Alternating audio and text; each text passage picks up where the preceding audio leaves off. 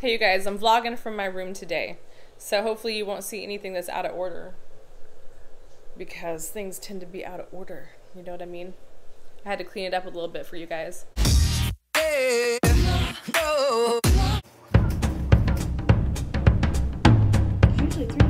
How are you doing today? Guess what? I have something really cool to share with you. I think this is pretty cool, so tell me tell me what you think. I've been using iMovie for six months to make my videos. I have figured out how to edit a lot better during that time. I'm definitely not perfect at it, but I have figured out how to incorporate music into it and how to show more movement and how to show you know, I think more interesting cuts and stuff like that. I'm getting somewhere with it. That may surprise you that I've used iMovie all the way through. I only have one video that I used Filmora to edit with. Shower time. Wait, are you gonna take a shower right now while I'm recording? I loved using iMovie, but it was super glitchy. And so sometimes I would put a couple hours into editing one of my videos and I'd have strange glitches happening. So then I'd have to spend another hour and sometimes more going through and fixing that. And it was frustrating and time consuming and add a lot of time onto my videos and some videos never made it up to the upload of YouTube because of that. So I was really frustrated. One night I had lost recently lost a ton of, of data, lost a ton of edits, had to go back and fix a lot of things and I decided that I was gonna go on to the App Store and leave iMovie a a pretty comprehensive feedback kind of review of why I was so frustrated with their product.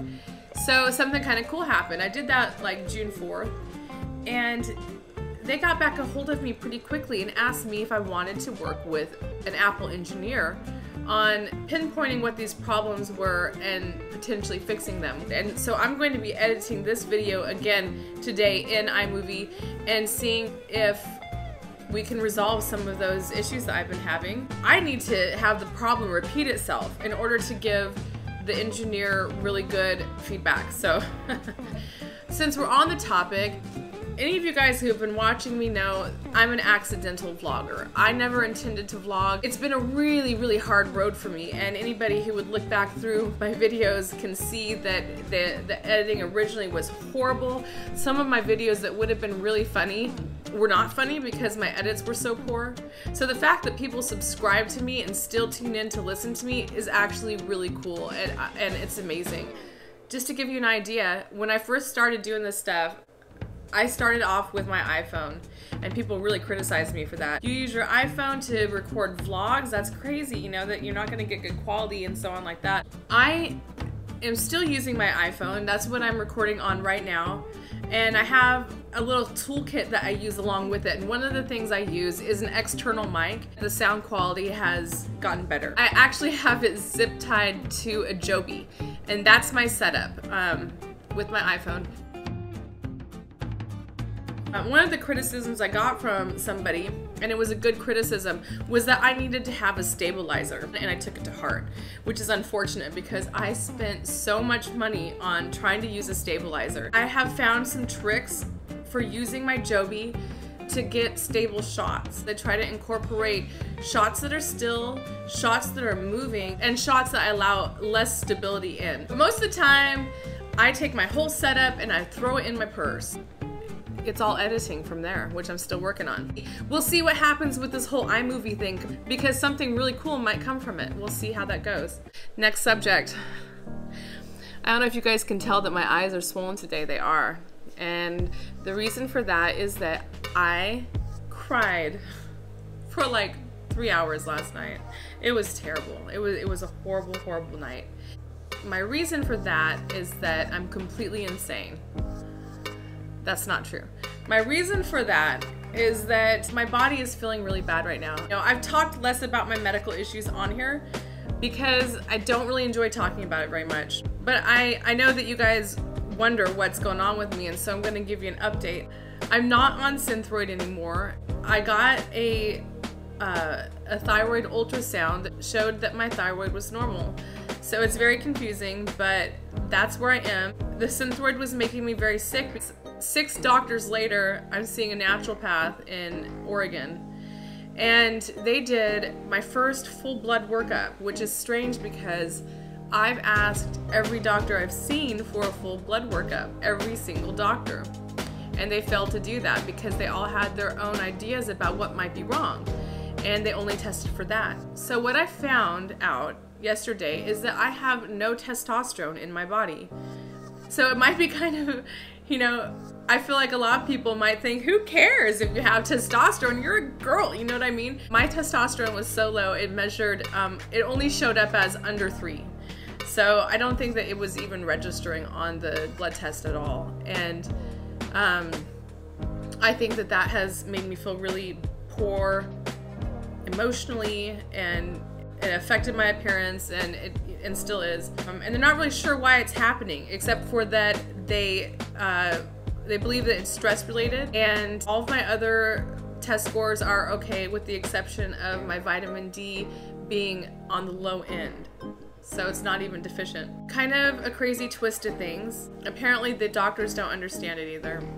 That's what I'm finding out is that nobody's gonna know exactly why my body's not not producing the stuff it needs right now. But what I one thing I do know is that it's affecting my body. So like you, a couple videos ago, somebody asked me and said that I was fit, which was very flattering. I appreciate that because I've gained 20 pounds, not of not of muscle. Um, I'm not at my fittest right now at all. I tend to be muscular and I tend to be slender. I wasn't always that way, but in my later adulthood, that's kind of how my body type has been. My body just changed very significantly. I started retaining water a lot. I feel like my muscles fatigue easier, and I generally was just more fatigued. I'm very hesitant now to say that it's all because of one thing or the other because I feel like I'm getting led down one road and then back to another road constantly, just trying to get back to figure out, you know, what is wrong with me? What is happening? And all that stuff affects me emotionally. And I think it's completely insane. I think it's insane that nobody tested it. Um, I think it's insane that doctors put me on such a high dose of Synthroid. Um, I'm very frustrated. I feel like I feel like none of the doctors did full testing like they should have. And I'm completely freaked out by the idea that I have zero amount of a hormone in my body that my body requires to operate properly. And I think that sucks. So, whatever. Um, but I am hoping that once I get that hormone in my body, that I can start maintaining more muscle mass and become more fit. And, um, and I can't wait because you know what? Since I've been making the video, I have been sick the entire time I've been making these videos, and I mean sick. You guys have not seen me. You guys haven't seen me flourishing in, in good shape and feeling good. So I'm hoping that that will come about. You know, one day I'll feel good, one day I won't. The emotional part is so difficult. It is so difficult because I'll feel um, overly emotional and not really know why or not know how to handle it, not know how to work through it. And I guess this is what makes me a vlogger, right?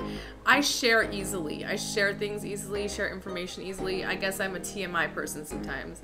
Well, I share things on Facebook. I share when I'm frustrated, I share when I'm hurt. And I had a friend recently give me some feedback. They were trying to protect me, trying to help me. And they told me, you know, you need to stop airing your dirty laundry on Facebook. Wasn't exactly doing that. Um, you know, I feel like airing dirty laundry is more like talking about specific events in your life, but I was definitely venting very generally the stuff that, that annoys the crap out of people. And the feedback hurt my feelings. The feedback definitely hurt my feelings, but I thought about it and um, and this is what I decided, okay? So, aside from having issues that complicate my emotions, I tend to be an emotional person. And I try to um, counter that with logic. I'm a very logical person as well.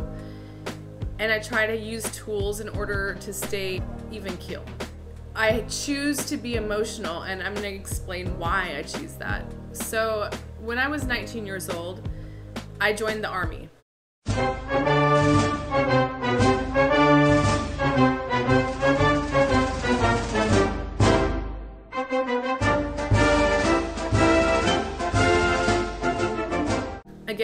Emotional. I had a really tough go. I my eyesight's very poor. I can barely see.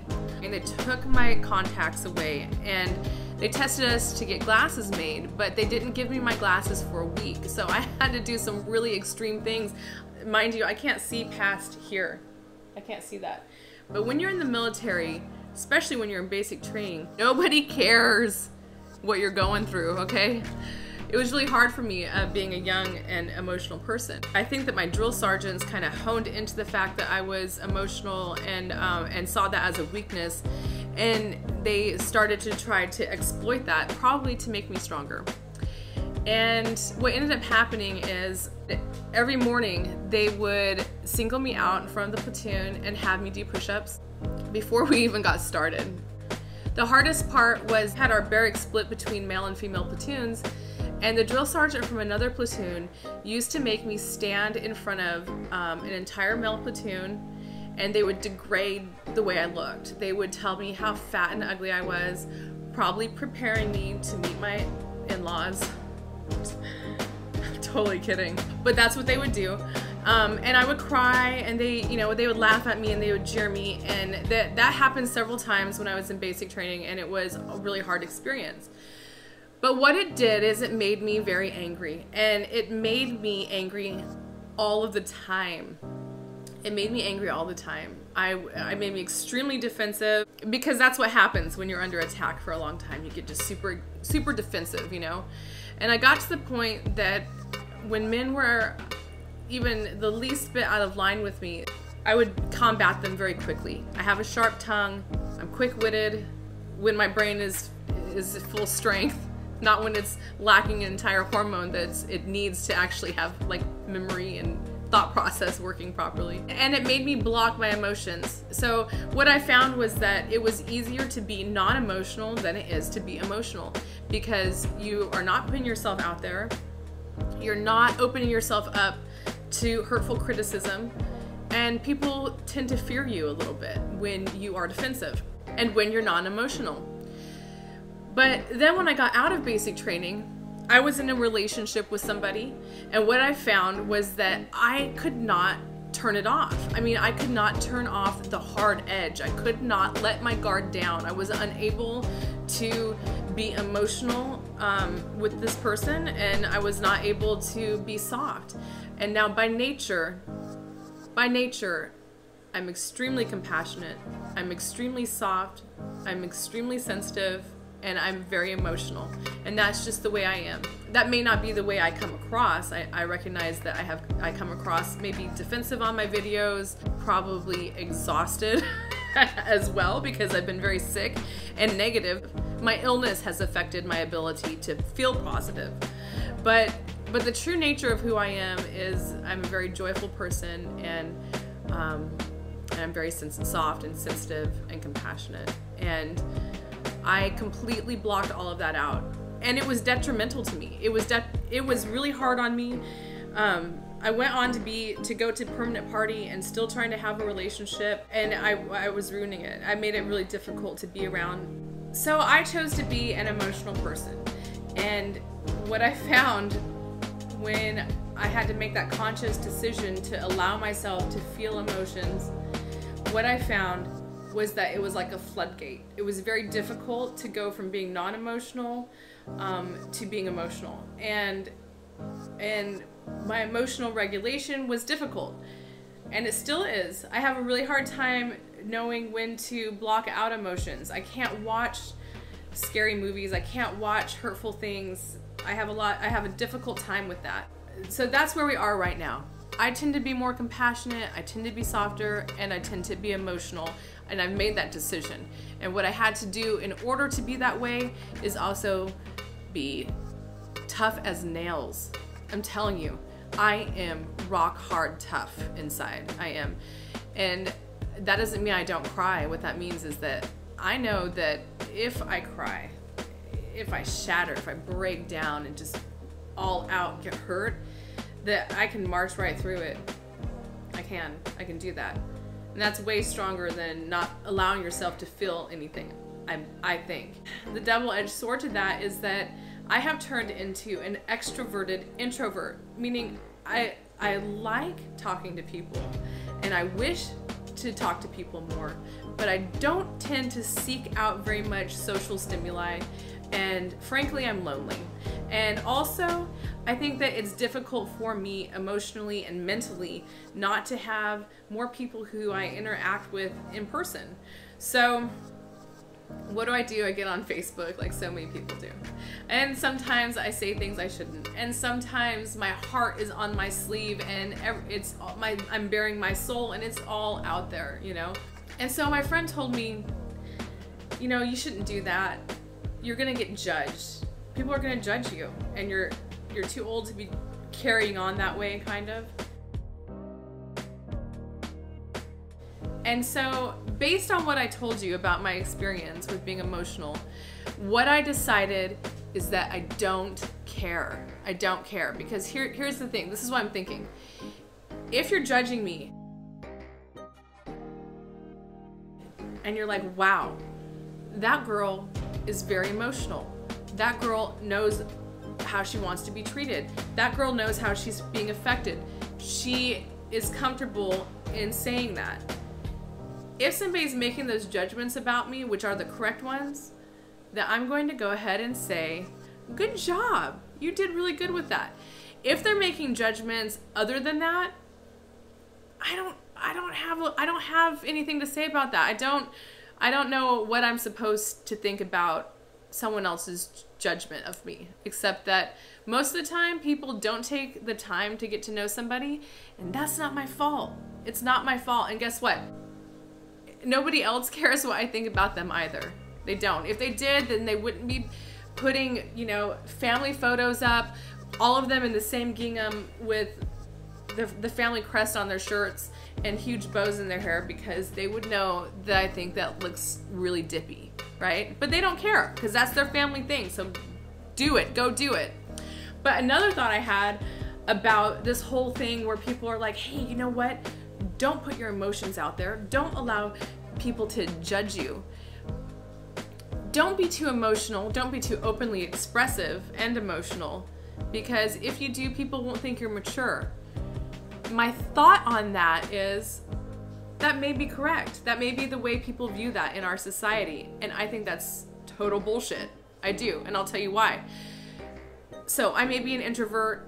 I may be isolated. Um, I don't get enough social stimulation. All that is true. And even on top of that, I still know that there are people out there who are worse off than I am, right? They don't have a lot of people to talk to and they might be struggling and they may need to have a way of dealing with things. And then you get on Facebook and you have, you know, it's snarkland. And you have people throwing up memes like, these are the 10 things that you should or shouldn't post on your page on Facebook. And I think that's I think it's all stupid. I think it's all stupid. I think that if somebody wants to express themselves in whatever way makes them feel better, that they should do it. And I don't think that they should worry about anyone judging them. I think it's bad that in our society we don't encourage people to say how they feel and say what they're thinking. You know? And I'll tell you something else. Do you really believe that because you paste a perfect world on Facebook that that's what people think of you because that's not what people think. It's not. The harder you try to convey to people that you're happy, the less happy they think you are. It's just the way it is. And when they when people see you truly happy, they can tell. They can tell because you're not trying to make them think that you're happy. It's true. This video is about being allowed to express yourself on social media however you damn choose however however you damn choose because even if even if you're a public relations expert and you think that you're going to control people's opinion of you on social media you're not actually doing that. You're not. Every single person has an individual idea about who you are and of all the opinions out there i probably have 1000 facebook friends on facebook people i all would want to have lunch with at some point, but I can't do it. I can't be spread that thin. But of all of them, the number of opinions that matter probably come down to 10 people. And those are probably the same 10 people that I would be able to call if I were crying for three straight hours. True story. So I guess if you don't make that list, then um, your opinion doesn't matter. I think that it's sad that we shame people into believing that they need to think twice about how they express themselves and what they're saying, especially when it has to do with their emotions. You know, if you're not directly talking about somebody on Facebook, if you're not using their name um, and you've got something to say, then you should say it. I, I, rarely do that. If I have a beef with somebody, for the most part, I'm gonna call them. I have erred in judgment in that way before, but very rarely. I also don't think Facebook's healthy for me. It's some it's a platform that I will either stay away from for a long time or overuse. I think in general it doesn't do much for me. It's kind of a habit. I bet I'm not the only one who uses Facebook out of a habit. But I think I'd probably be happier if I didn't have Facebook, and I'd probably be happier if I were having lunch every once in a while with a friend. Well, I guess that's all that I wanted to tell you guys. There's nothing else exciting out there. Uh, let's see, I'm trying to think if I covered everything um, about iMovie, about the equipment I use, about the fact that I'm completely insane, um, but not really. And then also, oh yeah, that I say whatever I want when I want, and that's just kind It's all true. Oh, I hear footsteps. I hear footsteps. I gotta go. I gotta go. Mommy. Mommy's being called. Bye, guys. Hey, no, no, no.